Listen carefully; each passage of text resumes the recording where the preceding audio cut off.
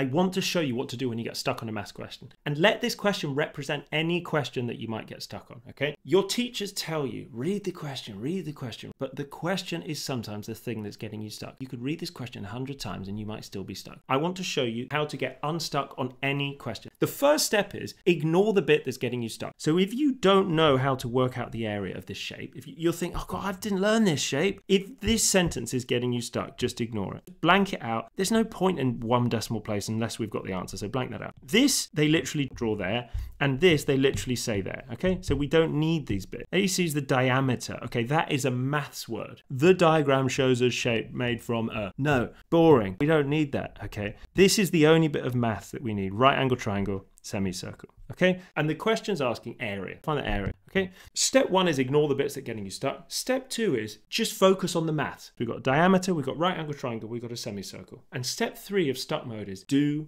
whatever you can. So just do anything. If you can do anything with these shapes, you're going to be getting marks for it. This is a five mark question. Let me just show you. Semicircle.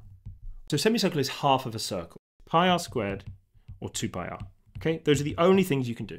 What can you do in a right angle triangle? Okay, you can do Pythagoras, you can do trigonometry, or you can do half times base times height. This is the area of a triangle. So, can I do pi r squared on this circle? We don't know the radius, so we can't do it. We can't do 2 pi r because we don't have the radius. Can we do half times base times height? Yes, we can. This is the base, this is the height. So we've done that one. So let's try and do Pythagoras. Pythagoras is a squared plus b squared equals c squared, where a and b are these sides and c is the long one. So let's do it. Wait, that's the diameter. The radius is half of that. The radius.